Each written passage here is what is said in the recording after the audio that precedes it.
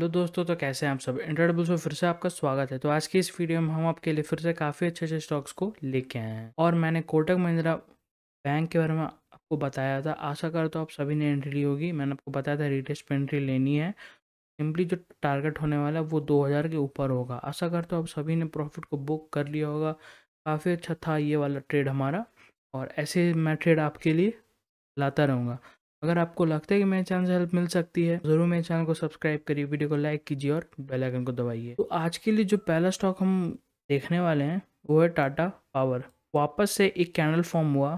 Supply option candle नीचे से जिसका बिग फॉर्म ऑफ़ वॉल्यूम काफ़ी ज़्यादा है। आज का मार्केट बहुत ज़्यादा आज वोलेटाइल था। तो काफ़ी में चांस था हमारा स्टॉप लॉस हिट होने का। इसमें भी पॉजिटिव मोमेंटम आने का चांस था। ये जो लेवल था, ये टेकआउट निकल गया। तो जैसे सिंपली यहाँ पर स्ट्रगल कर रहा है थोड़ा, जैसे इसके ऊपर क्रॉस करता है, यानी कि इसके ऊपर क्लोजिंग दे देता है तो पॉजिटिव मोमेंटम आने का काफ़ी ज़्यादा चांस है और स्टॉक पॉजिटिव मोमेंटम दे सकता है। तो इसी भी आपको वॉच लिस्ट में कर लेना है, इसमें मूव आ सकता है। मैं बात करने वाला हूँ एक्सिस बैंक का। मैंने आपको बताया था कि एक्सिस बैंक में reverse head and shoulder pattern form हो रहा है और ट्रेड के लिए काफ़ी अच्छा है। मैंने आपको बोला था जो ये लेवल है, ये रिटेस्ट हो सकता है। इसीलिए मैंने आपको बोला था स्टॉप लॉस इसके नीचे रखने। फ़िलहाल मार्केट आज काफ़ी ज़्यादा आज वोलेटाइल था। मैंने आपको बोला था वापस आपको एंट्री लेनी है तो इसके ऊपर आपको लेनी है। तो ये स्टॉक पोजिशनल ट्रेड के लिए था तो हमें काफ़ी टाइम तक होल्ड करना है। इसीलिए हमें स्टॉप लॉस को ट्रेल करे तो ऐसे जगह पर ट्रेल करना होगा जहाँ पर रिटेस्ट भी हो तो कम चांस हो हमारा स्टॉप लॉस हिट हो। तो मैंने आपको बोला था ये लेवल के नीचे आपको लगाना है स्टॉप लॉस हमारी एंट्री इसी एरिया इस एरिया में थी, मैंने आपको बता दिया था। तो काफ़ी सिंपल एनालिसिस था और अभी भी आप प्रॉफिट में होंगे, काफ़ी अच्छे प्रॉफिट में होंगे तो इसे होल्ड करिए और आगे काफ़ी चांस है, बहुत प्रॉफिट हो सकता है आपको इसमें। जो अगला स्टॉक हम देखने वाले हैं, वो है ज़माना ऑटो ये स्टॉक को निकालने का कारण हम ये देख सकते हैं कि रेसेंस के नीचे क्लोज्ड है। पर मेन अच्छी बात क्या है, पर वॉल्यूम नहीं आया है, एकदम थोड़ा सा वॉल्यूम ज़्यादा नहीं आया है। तो चांस है कि पॉजिटिव मोमेंटम आ सकता है और प्रॉफिट बुकिंग भी इसमें उतना ज़्यादा नहीं हुआ है, इस वॉल्यूम के हिसाब से, इस वॉल्यूम के हिसाब से और इस वॉल्यूम के हिसाब से। तो आगे पॉजिटिव मोमेंटम आने का काफ़ी ज़्यादा चांस है। इसे भी आपको वॉच में ऐड कर लेना है। तो जो अगला स्टॉक हम देखने वाले, मैंने आपको बताया था सोलर फाइनेंस के बारे में जैसे जैसे इस लेवल पे होल्ड करना स्टार्ट कर रहा है, अब ऐसे आगे पॉजिटिव मोमेंटम आ सकता है। इसमें भी जैसे मैंने बताया, टाटा स्टील में फेकआउट आया था, यहाँ पर भी फेकआउट आया। तो जैसे इस लेवल को तोड़ेगा तो हमारा बायस कम्प्लीटली नेगेटिव हो जाएगा।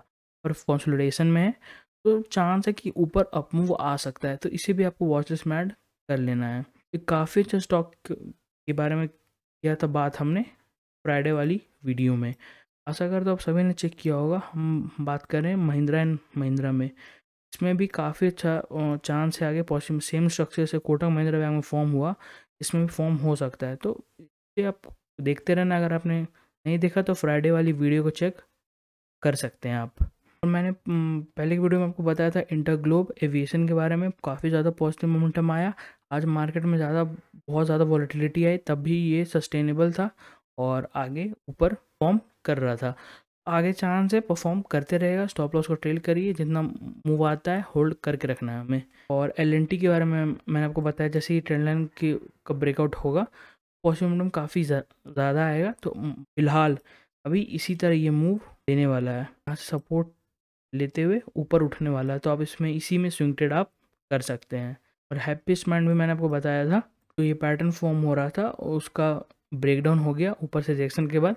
तो ये लेवल जो था, ये सपोर्ट की तरह काम कर रहा है। अब तो आगे तो ये लेवल को आपको वॉच करना है, जो हॉरिजॉन्टल लेवल है, अब ये लेवल कोई यूज़ का नहीं रहा। ये लेवल को वॉच करना है, जैसे पॉजिटिव मोमेंटम आए, जहाँ से थोड़े से कंसोलिडेशन के बाद अच्छा पॉजिटिव मोमेंटम इसमें आ सकता है।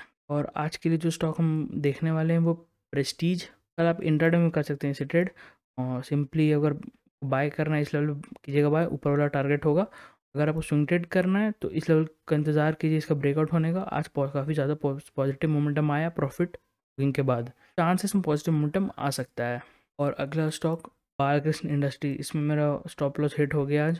प्ली मैंने यहाँ पर ट्रेल करके रखा हुआ था, मैंने आपको बताया था हर वीडियो में। बालकृष्ण काफ़ी ज़्यादा पॉजिटिव मोमेंटम शो करने वाला है। तो फ़िलहाल हमें एंट्री का काफ़ी अच्छा मौका मिला। ऐसे आपको ध्यान आपको देते रहना है। सिंपली काफ़ी चांस आपको मिलने वाले हैं आगे। अगर इसमें स्टॉप लॉस बीट हो गया तो कोई बात नहीं। मैंने इसमें एंट्री वापस नहीं ली है। अभी मैं कल इसे वॉच करने वाला हूँ, जो ये लेवल था। अगर इसका होल्ड करता है तो मैं करूँगा बाय जो ब्लेंड इनग्रेविया में भी सिमिलर स्ट्रक्चर जो पैटर्न फॉर्म हो रहा है वेज पैटर्न सिमिलर वे में यहाँ पर जो ब्लेंड इनग्रेविया में एक पैटर्न फॉर्म हो रहा है। तो इसी इसी पैटर्न में फॉर्म होते होते वो ऊपर परफॉर्म कर रहा है। मैंने आपको बोला था, आप चाहे तो इसमें भी स्विंग ट्रेड आप कर सकते हैं। आपको बोला था, यहाँ पर आपको बोला था, आप बाय कर सकते हैं। काफ़ी सिंपल सा ट्रेड रहता है ये सब। इसी तरह आपको देखते रहना है, और अगर आपको लगता है मेरे चैनल सेल्फ मिलेगी तो मेरे चैनल को सब्सक्राइब करिए वीडियो को लाइक कीजिए और बेल आइकन दबाइए।